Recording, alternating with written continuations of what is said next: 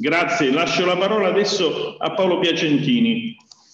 Grazie, grazie direttore, grazie a tutti, grazie a Stefano. Io andrò velocissimo, mi scuso veramente con i relatori che devo coordinare perché siamo veramente in ritardo. Eh, passo la parola a Ermete Realacci, eh, che spero che sia collegato. Prima c'era, e Ermete non ha bisogno di presentazioni, è stato un parlamentare per tante legislature ed è il presidente di Simbola che ha presentato anche il ministro Franceschini il rapporto su Borghi e Cammini ed in più è l'estensione del manifesto d'Assisi. Insomma, è una, appunto una persona impegnata da, da, tantissimi anni su questo fronte. Ermete credo che ci possa dare qualche valore aggiunto, qualche sua considerazione rispetto a questo progetto che stiamo, andando, che stiamo portando avanti. Grazie Ermete, purtroppo mi scuso veramente per il ritardo, ma a te la parola. Credo che devi... Eh, il microfono deve attivare Mete. Sì, Però lui vedo... è collegato. Eh, ah, ok. Vai Ermete. Forse non ha però il microfono. È collegato? È collegato, ma non so... Eccolo. Ecco, ci siamo riusciti. Ermete, mi hai sentito? Ti ho presentato il sensore sì, Marilocchi a caffè. Ti ho sentito chiaro e forte, come si suol dire, e cerco di essere brevissimo. Mi fa piacere che tu coordini, diciamo, questa parte della riflessione perché di cammini ne sai qualcosa, diciamo. No? E ehm, io vorrei dire questo. Noi rafforziamo i cammini se li vediamo come una parte del tutto. Eh, le, eh, giustamente eh, il, si è parlato di molte cose, io ho sempre in mente una frase di Proust che diceva un vero viaggio di scoperta non è cercare nuove terre ma avere nuovi occhi. Eh, il mondo dei cammini, il mondo di un turismo diverso, più sicuramente più sostenibile, ma anche con suggestioni diverse, era già in movimento prima di questa terribile pandemia. Questa pandemia ci ha fatto capire quando quel movimento andasse nella giusta direzione, che è un po' quella poi anche del manifesto di Assisi, perché il manifesto di Assisi firmato da autorevolissimi esponenti del mondo dell'economia, dei valori, della cultura, della società, dei saperi, ha un punto chiave. Il punto chiave del manifesto è, è, è sostenere che affrontare con coraggio le crisi che abbiamo davanti, a cominciare da quella climatica, non è solo necessario, ma è lo, la, l'opportunità per costruire un'economia e una società più a misura d'uomo e per questo più capace di futuro. Il ragionamento sui cammini ci porta in quella direzione e si incrocia con un'idea d'Italia.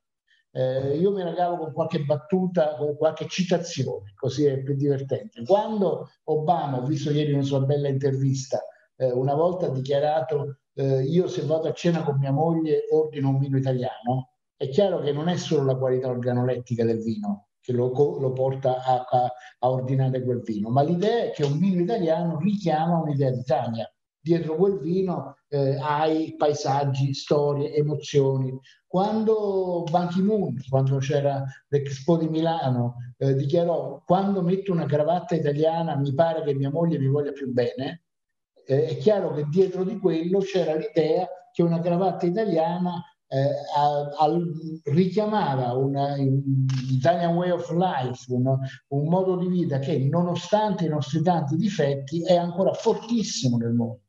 Eh, noi siamo un modello per molti, eh, per, al di là anche della nostra percezione, al di là anche delle nostre qualità. E quando eh, Libeskind, l'autore del grande architetto che ha ricostruito Ground Zero, dice nei borghi italiani c'è il DNA dell'umanità, eh, anche lì eh, c'è un ragionamento in cui è difficile guardare i settori da soli, è difficile guardare il turismo solo come turismo, svincolato dal paesaggio, dalla storia, dalle tradizioni, dalle produzioni, produzioni agricole, ma anche produzioni manifatturiere. Allora io penso che una chiave anche per questo tipo di turismo è tenere bene eh, questo atteggiamento olistico. È la maniera con cui anche come simbolo abbiamo lavorato sui cammini, perché i lavori che noi abbiamo fatto hanno sempre teso a incrociare i cammini con, con i piccoli comuni, con le produzioni, con le attività economiche, con le storie. No? Poi i cammini poi alla fine della fiera nascono da tre filoni principali. Eh.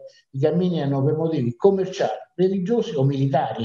Cioè non è che erano eh, per motivi turistici, non so, eh, il turismo eh, ripercorre strade che sono strade, state strade eh, di costruzione delle nostre comunità e delle nostre identità. Ecco, qui secondo me c'è veramente una grande opportunità e quando il ministro Franceschini, io condivido quella battuta, dice che quel ministero è il ministero economico più importante, lo è per questo motivo, non per il turismo. Il turismo è importantissimo e va tutelato, ma lo è perché quella idea di incrocio fra turismo, cultura, bellezza eh, è una chiave eh, per un mondo più sostenibile, è una chiave perfino eh, per combattere i mutamenti climatici, perché la bellezza è ecologica, cioè quando tu utilizzi la bellezza consumi meno energia e meno materie prime, ma è una chiave, è un punto di forza dell'Italia.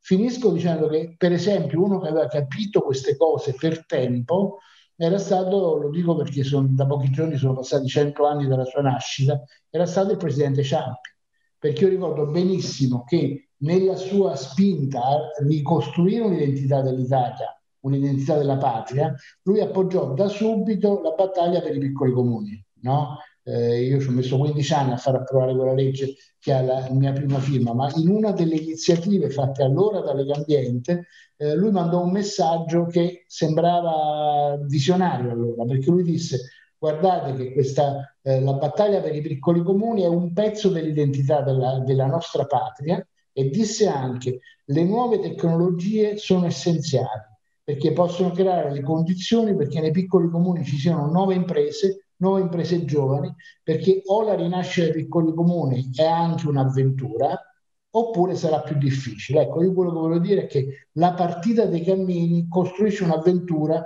che l'Italia può percorrere. Grazie.